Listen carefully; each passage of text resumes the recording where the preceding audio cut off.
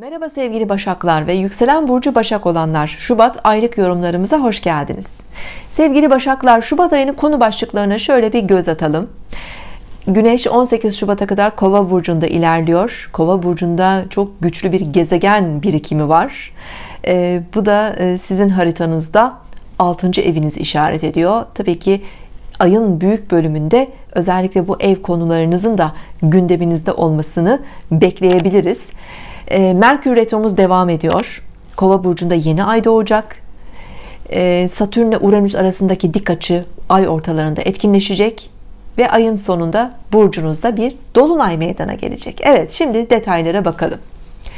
1 Şubat itibariyle Venüs'ün de Kova burcuna geçişiyle beraber 6. evinizde Venüs, Jüpiter, Satürn, Güneş ve Merkür'ün bir araya gelişi özellikle günlük hayatınızın detayları, iş hayatınız, mesleki çalışmalarınız, genel sağlığınızla ilgili konuları daha fazla mercek altına alacak gibi görünüyor. Evet gezegeniniz Merkür retro 20 Şubat'a kadar da devam edecek. E, bu e, iş hayatınızda veya günlük hayatınızın detaylarında biraz zaman zaman sıkıntılar, rötarlar getirebilir. Yani planlarınızı, randevularınızı istediğiniz gibi yapamayabilirsiniz. Ertelemeler olabilir gecikmeler olabilir. İşte kovanın sembolize ettiği o elektrikli elektronik araç gereçlerde arızalar teknolojik cihazlarda sıkıntılar. İşiniz de bu alanlarda ise özellikle ki günümüzde daha çok aslında hepimiz biraz daha dijital alanlarda e, var oluyoruz. E, buralarda tabii ki kova Kova burcundaki Merkür retrosu sıkıntılar getirebilir. Ne yapacağız? Ee, daha güvenli adımlar atacağız. Bilgisayarımızdaki dosyalara dikkat edeceğiz. Önemli dosyaları yedekleyeceğiz. Ee, internet üzerindeki alışverişlere dikkat edeceğiz. Ee, telefonumuz, elektrikli araçlarımızda belki yapılması gereken bakımları, kontrolleri yaptırmamız gerekecek ve benzeri konular gündemimizde olabilir. Kova burcunda bir yeni ay doğacak 11 e, Şubat'ta. Yeni ay yeni olasılıklar, yeni e, gündemler demek. E, bu yeni e, ay size tabii ki iş ve mesleki anlamda bir kapı açabilir. Bir projeyi de gündeme getirebilir. Ama hemen harekete geçmeyelim. Gezegeniniz Merkür'ün düzelmesini bekleyelim. Hazırlıklarını yapabilirsiniz gözden geçirmeler yapabilirsiniz. 20 Şubat sonrası da daha rahat iş alanınızda hareketlerde bulunabilirsiniz. Yeni ay bir yandan günlük hayatınızın detaylarına dikkat çekiyor. Bu beslenmeniz olabilir giyiminiz kuşamınız genel sağlığınız olabilir kontroller olabilir check-up olabilir bir sağlık sorununuz var hep erteliyorsunuz. Artık onunla ilgilenmeniz gerekebilir diyete başlamanız gerekebilir. E, günlük hayatınızda yine iş hayatınız çalışma hayatınızda veriminizi arttırmaya konforunuzu iyileştirmeye yönelik bazı düzenlemelerin yapılması gündeminizde olabilir. Lütfen kişisel doğum haritalarınıza bakınız.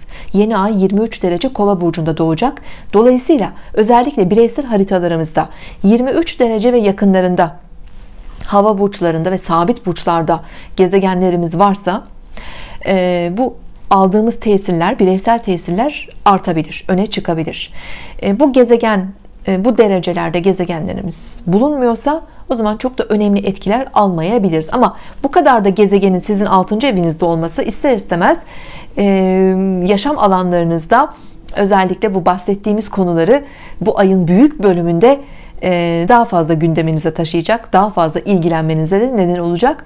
Evcil hayvanlarınızla ilgili konu ve kavramlar da yine e, belki biraz daha mercek altına almanızı gerektirebilir. Evet 18 e, Şubat'a kadar Güneş Kova burcunda Merkür Retrosu 20 Şubat'a kadar devam ediyor. Ve ayın ortalarında özellikle 17 Şubat ve yakınlarında Uranüs ile Satürn arasında dik bir açı oluşacak kolektif bir etkidir aslında. Hani bireysel etkilerinden ziyade daha toplumsal konularla ilgilidir. E, piyasaları etkileyebilir. Biraz da otorite figürleri yönetimsel alanlarda devlet yapılarında liderlerle ilgili e, stresleri oluşturabilir. Yine teknoloji alanlarında dijital platformlarda e, biraz daha global etkilerle karşılaşabiliriz daha özgür, daha bireysel yaklaşımlarla hani otorite ve kurallar, yasalar arasında zıtlaşmaların olabileceği bir süreç aslında. Hani bu sizin bireysel yaşamınızda, iş hayatınızda, çalışma koşullarınızda, e, çevrenizdeki kişilerle ilişkilerde, e, yine teknoloji alanında, belki stresler oluşturabilir. Ee, bazı planlarınızı tekrar gözden geçirmeniz gerekebilir. Özellikle seyahat alanlarında ve yurt dışı alanlarında beklenmedik uygulamalar örneğin bir anda gündeme gelebilir ve siz de uluslararası alanda işler yapıyorsanız veya bir seyahatiniz gündemdeyse buralarda e, beklenmedik bazı yön değişiklikleri ya da plan program değişiklikleriyle karşılaşabilirsiniz. Güneşin artık 18 Şubat'ta balık burcuna geçişiyle beraber ilişkiler alanınız aydınlanmaya başlıyor ve bir ay güneş orada olacak. 25 e, Şubat'ta Venüs iyicil gezegenlerimizden Venüs de e, balık burcuna geçiyor. Bu ayın özellikle 20'sinden sonra Merkür'ün de düzelmesiyle beraber aslında enerji olarak sizi çok rahatlatacak. E, daha rahat adım atıp hareketlerde bulunabilirsiniz. Hem ilişkilerde hem iş hayatınızla bağlantılı tabii ki ilişki dinamiklerinizde.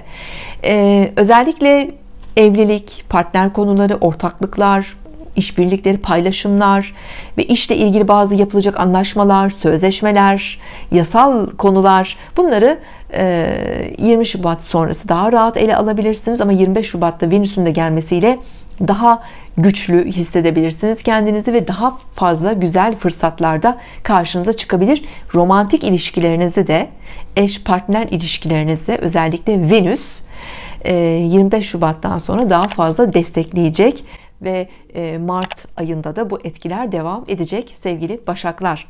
Evet ve 27 Şubat'ta burcunuzda bir dolunay var. Başak burcunun 8 derecesinde. Özellikle Güneş burcu ve yükselen burcu 8 derece ve yakınlarında olan sevgili başaklarımız sizi çok etkiliyor tabii ki. Sizin için daha radikal, daha kadersel tesirler var. Olumlu bir dolunay ama bu. Genel enerjileri güçlü ama daha olumlu destekleri var. E, bu dolunayla beraber kendinizle ilgili, ilişkilerinizle ilgili, iş hayatınızla ilgili önemli farkındalıklar edebilir, edinebilir ve bazı dönüşümsel kararlar da verebilirsiniz. Önemli adımlar da atabilirsiniz. Bedensel olarak fizik anlamında, giyim, kuşam anlamında değişimler yapabilirsiniz. imaj değiştirebilirsiniz. Örneğin Venüs destekleyebilir sizi bu anlamda. İlişkilerle ilgili yeni kararlar alabilirsiniz veya bir ilişki içindesiniz. Ortağınızla herhangi bir iş girişimi veya hani eşinizle partnerinizle birlikte yapacağınız bazı girişimler. Bunlar güzel, keyifli seyahatler olabilir, tatil planları olabilir veya hani çocuklarla ilgili alacağınız kararlar olabilir.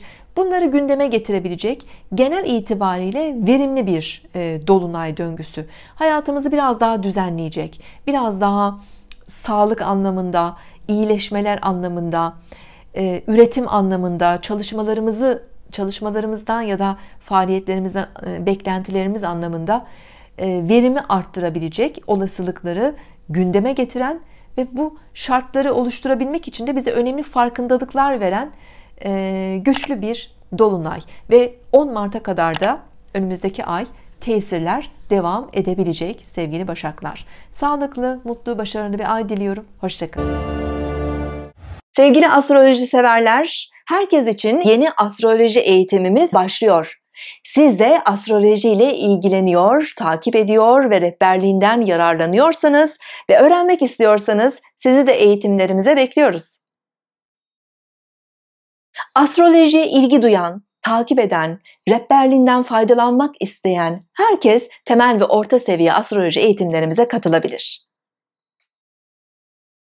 Temel ve orta seviye eğitimlerimizin ana amacı öncelikle sizin kendi kendinizin astroloğu olabilmenizi sağlamaktır.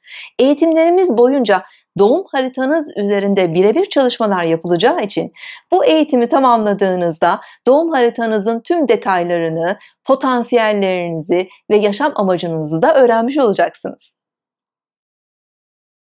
Kendi kendinizin astroloğu olduktan sonra yakınlarınızın, ailenizin ve arkadaşlarınızın haritalarına bakarak onların da astroloğu olabilir, yaşamlarında rehberlik edebilirsiniz. Astroloji derslerimiz online platform üzerinde olacağı için dünyanın hangi şehrinde, hangi ülkesinde olursanız olun bilgisayar üzerinden eğitimlerimize canlı olarak katılabilirsiniz. Canlı katılamadığınız takdirde de yapılan dersler kaydedileceği için her zaman istediğiniz kadar dersleri tekrar izleme, takip etme imkanını bulabilirsiniz. 2012 yılında bilinçokulu.com platformu üzerinde başladığımız online eğitimlerimiz her yıl düzenli olarak devam ediyor. Siz de bu yıl düzenleyeceğimiz eğitimimize katılabilir, öğrencilerimiz arasına girebilirsiniz. Tüm eğitimlerimiz ve dersler sırasındaki öğrencilerimizin harita incelemeleri tamamen benim tarafından yapılmaktadır. Astroloji eğitimimize katılmak istiyorsanız lütfen 0507 607 50 17 WhatsApp hattımıza isminiz ve doğum bilgilerinizle beraber mesaj atınız. Hemen size geri dönüş yapacağım.